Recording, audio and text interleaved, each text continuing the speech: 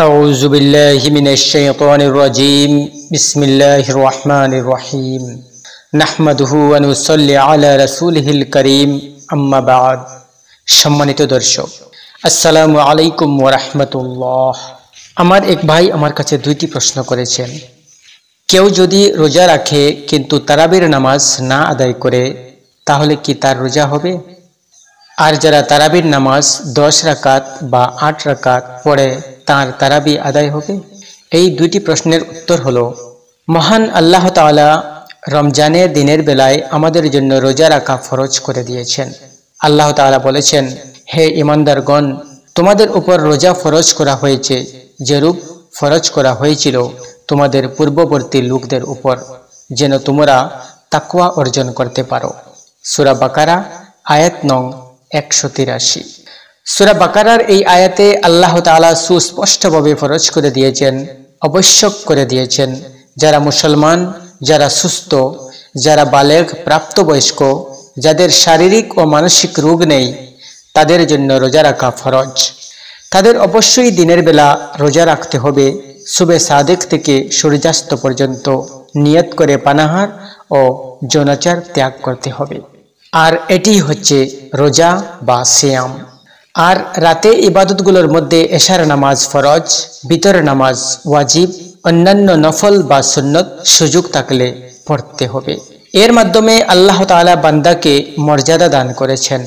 তবে কেউ যদি তারাবির নামাজ না পড়ে, দিনের বেলা রোজা রাখে, তাহলে তার রমজানের ফরজ রোজা আদায় হয়ে যাবে। কিন্তু সুন্নাত ও তারাবির মাধ্যমে তার যে মর্যাদা পাওয়ার সুযোগ ছিল, তা থেকে সে বঞ্চিত হলো। আর কেউ যদি বিশ রাকাত না পড়ে, আট রাকাত বা বারো রাকাত পড়ে, তাহলে সে আট রাকাতের সওয়াব পেয়ে যাবে।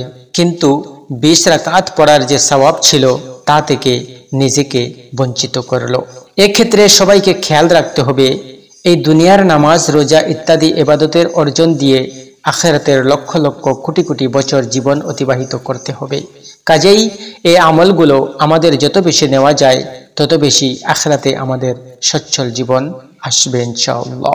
এজন্য যারা সুস্থ, সবল ও কোনো বাধা, বিপত্তি নেই, তারা যেন কম করার চেষ্টা না করেন, বরং বেশি করার চেষ্টা করেন। তারা শুধু বিশ রাকাতই নয়, বরং আরও বেশি পড়বেন, নফল নামাজ পড়বেন কারণ বেশি প্রাপ্তির মাস রমজান, তাই বেশি বেশি করে সওয়াব অর্জন করে নিতে হবে আমাদের প্রত্যেকের। মহান আল্লাহ রবুল আলমী যেন আমরা সবাইকে সেই বুঝ দান করেন, মাহে রমজানের ত্রিশটি রোজাকে সুন্দর এবং সুস্পষ্টভাবে রাখার তৌফিক দান করেন এবং তারাবির নামাজকে বেশি বেশি করে আদায় করার তৌফিক দান করেন। ওমার তৌফিক ইল্লা বিল্লাহ। প্রিয় দর্শক, তো এই ছিল আজকের ভিডিও আশা করি আজকের এই ভিডিওটি আপনাদের অনেক উপকারে আসবে, ইনশাআল্লাহ। ভিডিওটি কেমন হয়েছে অবশ্যই কমেন্টের মধ্যে জানাবেন এবং পরবর্তী ভিডিওর আপডেট সবার আগে পাওয়ার জন্য চ্যানেলটিকে সাবস্ক্রাইব করে পাশের নোটিফিকেশন বেলটি অন করে রাখবেন।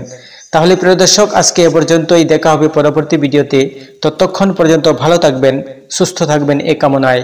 ওয়া আখরু দাওয়ানা আনিল হামদুলিল্লাহি রব্বিল আলামিন।